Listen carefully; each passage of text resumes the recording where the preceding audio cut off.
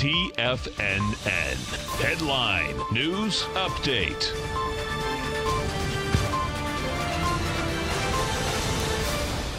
Good morning, everybody. I'm Tommy O'Brien, coming to you live from TFNN headquarters in St. Petersburg, Florida. It's Monday, 10 a.m. Eastern Time, 30 minutes into the trading day. We got markets starting off to the negative. Dow Jones off 149 points right now, trading at 26,772. You get the S&Ps negative by 17, trading at 2973. Nasdaq negative by 78 points. Apple getting hit this morning with a downgrade. We'll jump over to them in the morning. Nasdaq trading at 8,083. Nasdaq off about 1%. Russell 2000 negative 7 points at 1568. We'll start things off this morning. Let's take a look at the VIX volatility index. Get a little negative action in the market. You're seeing a little bit of elevated action in the volatility index, 1424. We actually reached a level above 1450 on Friday.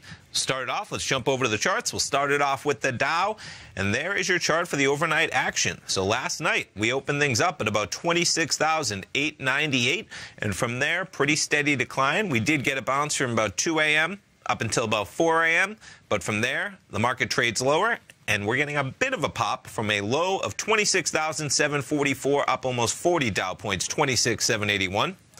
NASDAQ 100 kind of sells off right on the open. We'll jump over to Apple. You'll see Apple sold off right on the open as well. They're definitely contributing to that NASDAQ 100 number. NASDAQ trading at 77.83. S&P is trading at 29.77. Apple hitting that as well, I'm sure. Apple down about 2% right now. Crude oil, check that out. Quite a run. Even since 8.30 in the morning, you trade from 57.31. We're now up a solid 90 pennies from that level, 58.18. Gold contract reached a high this morning of 14.09, currently trading at 14.02. And there's your euro US dollar trading at 112.16.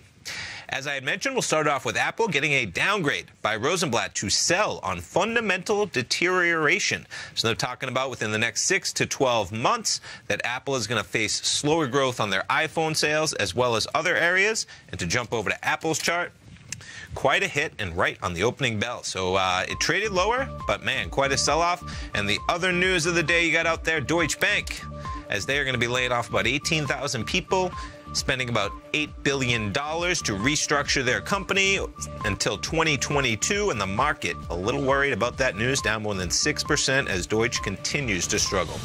Stay tuned, folks. Come back at 10 o'clock with our man Basil Chapman filling in for Tom. Live programming all day. Have a great Monday.